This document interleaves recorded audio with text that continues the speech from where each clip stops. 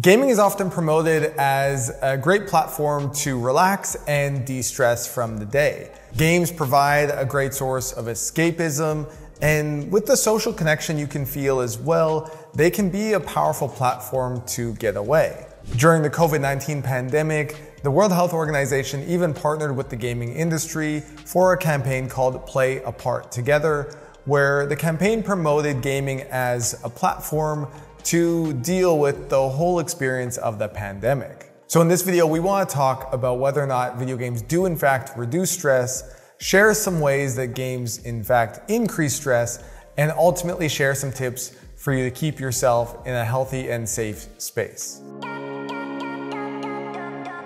What's up everyone? My name is Cam Adair and I'm the founder of GameQuitters.com which is a platform to support gamers and their families' mental health. Our platform supports people all over the world to play in a safe way. And if you want my help with that, you can go to gamequitters.com slash apply, where I'll be able to share with you exact strategies you can use to get gaming under control for good. So if you want that, go to gamequitters.com slash apply and I'd love to speak with you. All right, so let's dive in and let's first look at some ways that video games do help reduce stress. Gaming can be relaxing and it can offer an escape. Maybe you went to school or work for the day and you came home and you just want to play. You just want to kind of get away for an hour or two, play some games, have some fun, and just shut off the thoughts that may be occurring. You might just be looking to kind of unwind, and games are really good at providing that. It also helps that they provide a flow state, so you're able to focus very much on the experience, and that helps to give you a break from maybe stressful thoughts that you may be having. Games are also fun and provide you with an opportunity to be creative. The fun that you receive in games provide you with a source of dopamine, which is kind of the happy hormone in your brain, and this can help relieve signs of stress. Games are also rewarding.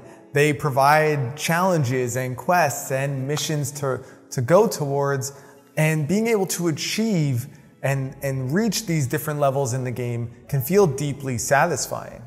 Gaining these rewards and this sense of fulfillment can be a great way to relieve stress.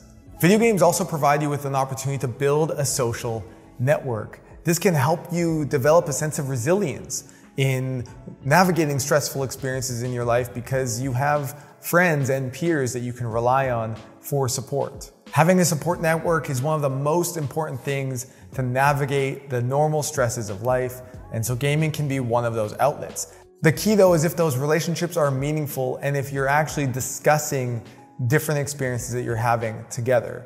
If you're just playing and only talking about the game, the level of relationship that you'll develop might be uh, more surface level. Games can also provide the opportunity to build skills, such as problem solving skills or cooperation, teamwork, leadership skills. And these skills can then transfer into the physical world to help you navigate stress and just everyday occurrences. The key though with this is whether or not you are taking the intention to take the skills and the, and the ways that you learn and strategize in a game back into the physical world to actually have them apply there as well. All right, so those are some ways that games can reduce stress. Now let's look at some ways that video games can increase stress. The first thing we need to talk about is that the gaming community can be toxic. Now this especially applies for games like League of Legends or Call of Duty, but these toxic experiences increase stress, make the game a lot less fun to play, and can actually compound stress that you're experiencing in the physical world. So be mindful of the games that you're playing and choose ones that actually help relieve stress and not just compound it in your life. Games can also lead you to play too much. And excessive play can lead to the development of a gaming disorder. Research has found that individuals with higher levels of stress are more vulnerable to developing a problem with games. And so you really want to be careful that if you're stressed in your life and you're using games as an outlet for that, be careful that it doesn't lead to playing too much to the detriment of other areas of your life. Another way games can lead to increased stress is through in-app purchases. There are many ways to spend money in games now, and many games have predatory monetization schemes. This can lead to overspending, debt, financial harm, and many other ways such as conflict with your partner or with family. So be aware of games that are free to play, especially but most modern games contain opportunities to spend money in games, and you definitely want to keep that to a minimum. Games can also be highly competitive, and this level of competition can be very stressful. So if you find that competitive games are stressful for you, then maybe changing to more single player story based or narrative based games might be a better solution to reduce your stress and not add to it.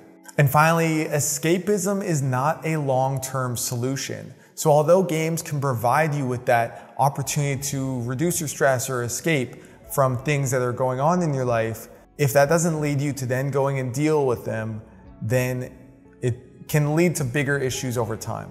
So, although escapism might be a short term or a temporary solution, don't use it as a long term strategy with games. Now, if you want to know some ways that you can relax or escape or de stress without using video games, you can check my video. The link is in the description where we have 18 different ways that you can actually relax without using video games in healthier ways. All right, so overall, there are ways that games can help you reduce stress and there are ways that it can increase it. The key is about how you play, when you play, and who you're playing with. Generally, more single player narrative based games should be less stressful than highly competitive online multiplayer based ones.